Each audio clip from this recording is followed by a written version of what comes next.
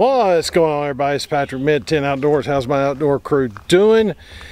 I just like getting a little drive up. Um, that was the driveway I had to come up. We are kind of dispersed primitive camping this weekend or tonight. Um, you see the Titan is right behind me. But I think I'm gonna make this spot right here my camping spot. Um, what I like about it is sooner or later the sun's going to be completely over that way. So this will be wait a minute sun goes down. I, am thinking this will be my spot right here. Uh, there's actually four spots up here. There's two more up there. There's one over here.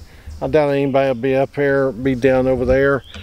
Um, got a fire pit for say right there um, and got that as a backdrop.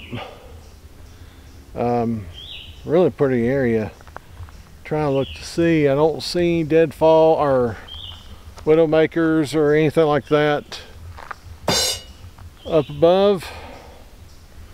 So I think tent goes right there. Uh, that'll block sun in the morning for the most part. So yeah. Let's do that. I don't like up there because the sun will go down over that way in a little while. So I'll have more trees blocking it. Might get a little bit of it here after a while. But for the most part I'm liking this. But anyway I'll come back after I get some things done. I'm going to reposition the truck. I want the back end of the truck over here in the sun for now. But then uh, be hanging out around the campfire tonight and I'm going to put the tent over here um, out of the way. That's some big tall standing grass, but I'll put the back of the tent back there. But uh, yeah, I'll discuss what this is more after I get everything set up. So, all right, so camp is set up where I said I was going to set it. Let's see. Let me see if I can't back up a little bit. You see more. There's the truck. Trying not to get direct light. There's the tent half pitched it'll work no wind. Uh, using an umbrella right now I'm using it for shade. Then I've got shade over there. Um, I'll walk up on the hill here in a little bit and we'll take a look at that. Um, but I've got all this behind me too. I could have set up over there but I kind of like this deeper woods little better. So that's what I went with.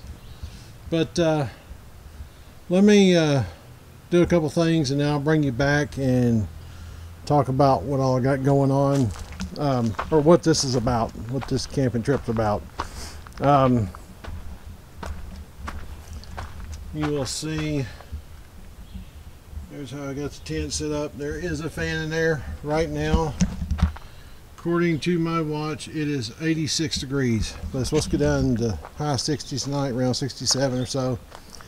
So it's going to be a warm night warmer night than uh, what I normally camp. So that's what we're going to do. We're going to see how tough I can be. Of course, the humidity is really low. So as long as the humidity is low, we're good. Um, but if humidity was like 70% right now, I, I wouldn't be doing this. But it feels really good. Humidity is supposed to come back tomorrow, so I will be down and out by the time that's here. All right, guys. I'll bring it back in a little bit from on top of the hill. Okay, so this is the very top campsite right here. Uh, there's a drop pot toilet that shows you how dispersed camping this is. This is actually considered one of the camping spots here. Mine's down there. Um, then there's one back over there for hammocks and stuff. If Somebody actually left a hammock there. And then uh, you got that view right there. Wait a minute. Opens up. Me walk over a little further. Oh wow.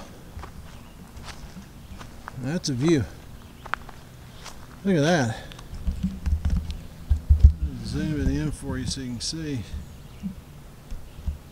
That's a view right there. So anyways, I'm not sure where that goes. I know it's part of his property. I was told there's a certain area that has a bunch of stuff that I'm not supposed to film around. Uh, let me walk a little further over this. But I'm the only one here, which is nice. That's a pretty view. I can imagine this in the fall when the leaves have already dropped. That's a road that goes down somewhere. I don't know if I get bored enough, I may take my truck and uh,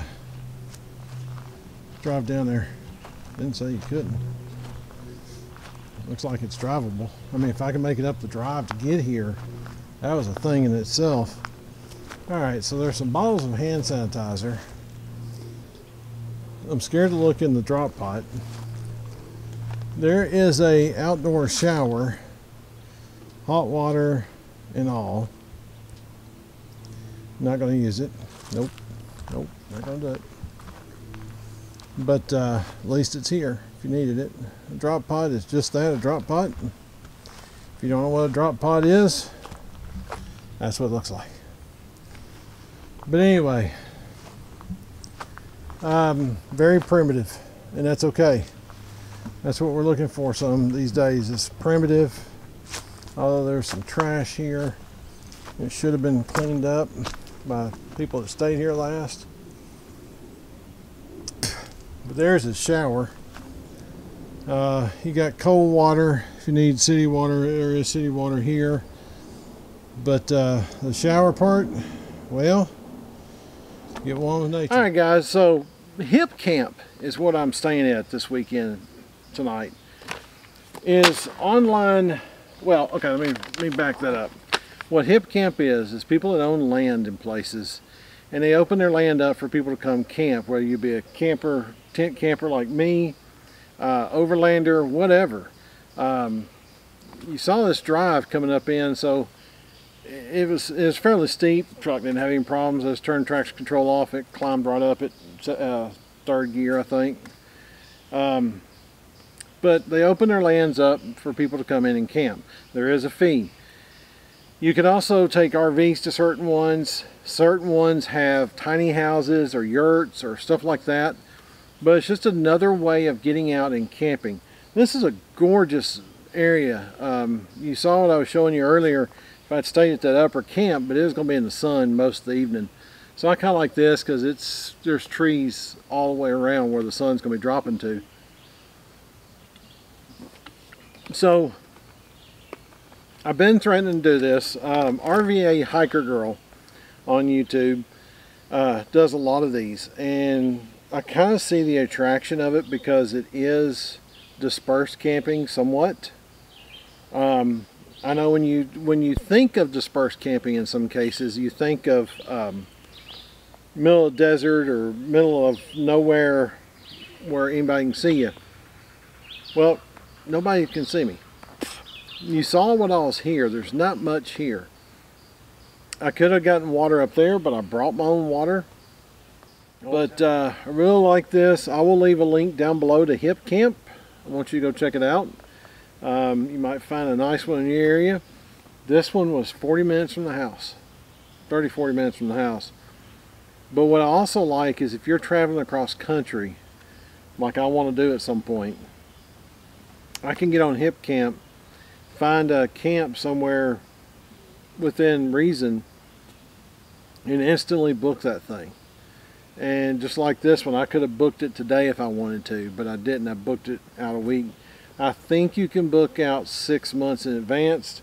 I will leave it down below on a little pop-up right now. Um, how far it is you can book up, but they do have instant booking on some sites, which is really cool. Um, they've got sites all over the country, um, thinking Europe and a few other countries like I said, I'll leave a link to the website down below. Y'all can go check it out. And um, I think it's just another opportunity to get out because right now it's it's getting difficult to get in state parks um, without months in advance of making reservations. And sometimes you just don't know where you want to go and what you want to do, and you just want to get out for the night. Well, this is a perfect opportunity.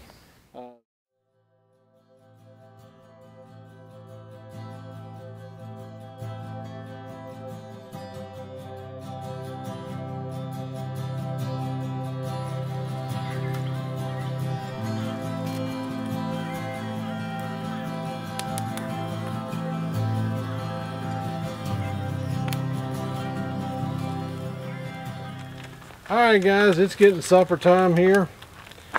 Um, got something quick and simple. We'll do smoked brats with kraut. Got a couple buns here. And I'm not going to show you exactly the whole system I'm doing as far as, or I'm not going to show everything cooking, but uh, I've got a couple of little ideas I'm going to throw at you. And uh, I'll bring you back when I get to that point.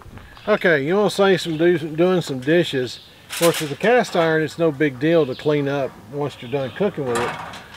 But if you're having to use a plate, wrap it in aluminum foil. I highly recommend the cheap aluminum foil. But wrap it in aluminum foil. That way when you get through eating, just throw the aluminum foil away. Put the pan away. Put a plate away and you're done. I'm by myself, so why do I want to do a bunch of dishes? I'm not. I'm going to do this right here and that's it.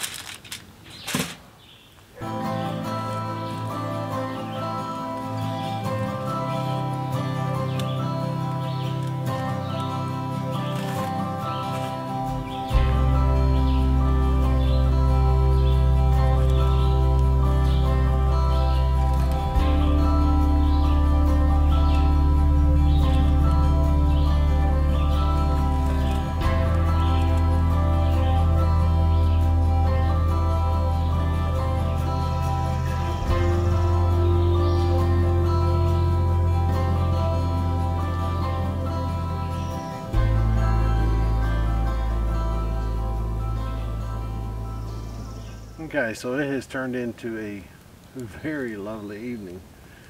Uh, it's still 77 degrees out, but it's sun's gone down. It feels really good. Been getting a breeze every now and then, but it is actually 8:30. I will probably turn in about 10 uh, when this goes completely out. Um, one of the things they ask you to do is pack out what you pack in, which I have no problem with that. Matter of fact, before I leave, I got a couple things I found laying around that I'm going to grab and put in the trash bag, um, take home with me, um, throw away. I keep the trash, I keep trash running inside my truck. I keep my food inside the truck, and I keep, well, all my dry goods and everything inside the cab of the truck so it's sealed up at night. And I practice that from now on. Um, whether I'm in the Smokies or I'm here. Now I don't know what critters running around out here.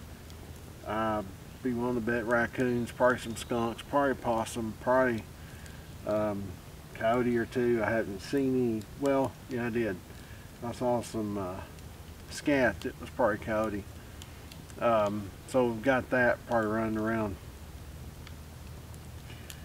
Eh, I'm sure there's probably some snakes or something running around too. And of course the general fare of bugs, but you're just better off if you keep your your food in your vehicle, if you're especially if you're car camping or whatever, especially if you're in a tent. I mean, you just got a little bit of nylon between you and whatever's coming after the food.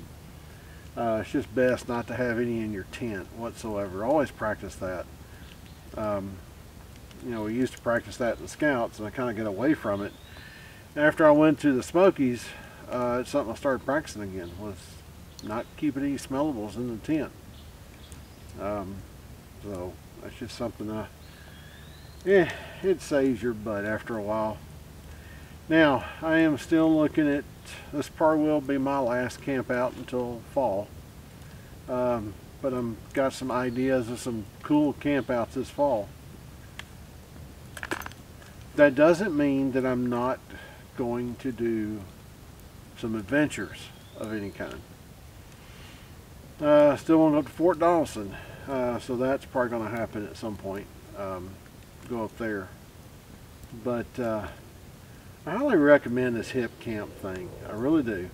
Um, I'll leave RVA Hiker Girl's name down below too. She does quite a few of them. Um, you may have something in your area. You know, I'm not lucky enough to have um, public lands in our area. The closest thing we have is going to um, the Lakes or Daniel Boone National Forest. Both of those are at least a two hour drive from the house. This was 40 minutes. Now I can go to the state park, um, and I love my state parks. I love Tennessee state parks. Don't get me wrong, but if you want that solitude, you want that total. I wished I had a couple people here with me. It'd be kind of cool because I mean, right now the lightning bugs are firing up in the woods. Um, earlier, I was sitting here, and a limb fell out of a tree back there, and man, I tell you what, if I hadn't had my wits about me, I'd still be running. I'd probably be about home by now. But it scared the dickens out of me. But it's still. All you can hear is uh,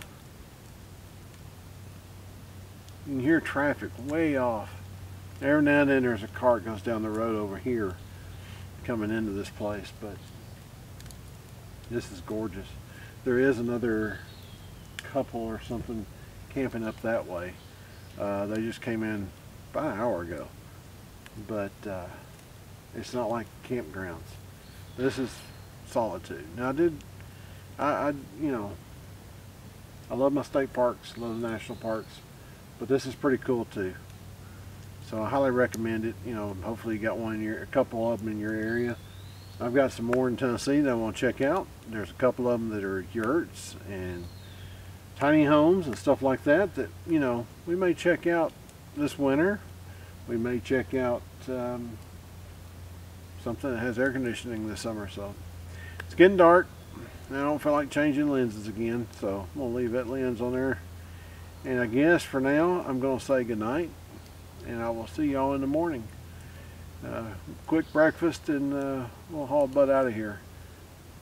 Sun should come up over there in the morning, so it'll be quite a while before it's over here on on top of me. So before I get done, get out of here, by the time the sun hits the campground, hits the camping spot, and it's supposed to get hot tomorrow. So, all right, guys, that's it on this one. Um, I'm gonna close out the video in the morning. So, good night. Good morning, everybody. Man, I slept like a baby last night. Um, I just uh, slept on top of my sleeping bag. I had a um, sleeping bag liner that I used as a blanket all night and slept awesome. Um, so, I guess what I want to say is my Hipcamp first experience went great. Although there's more crap falling out of trees out here than I've ever heard. I don't know if it's because it's so quiet. And uh, it was great. Well, say this, there's a tree behind me that I think it was a raccoon that fell out of the tree or something fell out of the tree big hit the ground and then finally took off running. That was craziest thing I've ever heard. I mean uh, that was that was crazy. But uh, yeah good night's sleep. Humidity's already stupid. It's supposed to be like 92 today. They already got heat advisories for us for today. So I think what I'm gonna do before the sun really gets up although there's a little cloud cover high clouds. I think what I'm gonna do before the sun gets up good I'm gonna go ahead and tear everything down as far as the tent goes and get it in the truck. Yeah I think I'll do some breakfast and and uh now before it gets too hot. It feels good right now. It's uh, 66 degrees so it's it's comfortable right now. But that's going to end. That is going to end um, quickly. Because it's going to rise. But I'm going to get back down this driveway too. living out of here. But this is beautiful over here. That view up there is gorgeous. So the guy that owns this you'll be getting two thumbs up. Um, I noticed he does have trash cans here and there people throw things away but he asked that you pack out as much as you can when you leave so that's what I'm gonna do I'm gonna pack out my trash I don't have much trash anyway just overnight. Had supper, and I'll have a little bit of breakfast and some coffee. And I have some coffee because I'm not fully functionable yet. But I am. I'm gonna pack up uh, tent. It'll take maybe 15 minutes. Get all that torn down. Now I know uh, I really want a gazelle. They pop up so much faster. But anyway, that's it on so far. If I have anything else happen, I'll bring you back and we'll tell you about it. But everything worked great. Uh, didn't have any problems last night. Outside of the whatever the heck it was that fell out of the tree. I think it hurt it more than it did me. And that sounded painful. But I'm gonna start collecting all my lights that are hanging, put them up, and call it a call it a trip. But uh, I may set y'all up, record the woods or something, just the birds chirping. And there's a rooster somewhere. Oh, I want to talk about animals and critters. So I heard two different owls last night. or it's the birds? Rooster down the hill here somewhere. Well, I can see a peak of a house, so it's probably there. But over that way, like I said, owls, other things, yeah, supposed to hear that. Peacock. Somebody owns a peacock around here. And I heard it calling out last night. Okay, be back in a little bit. Peacock. Ready to roll. Uh, last clip you're gonna see is me coming down this driveway. Uh, it's a it's a beast. But uh, anyway, it's been an awesome night, an awesome trip. Just wanted to get out and do one more camping trip for you for the year. Um, but I'm fixing to work my way down this hill. I appreciate everybody that watches, appreciate everybody that subscribes and uh, shares the videos, likes the videos. Keep it up. We're gonna do more. We got some things I want to do this summer, um, and we're gonna do them. So, stay tuned. Be prepared. Let's get out of here.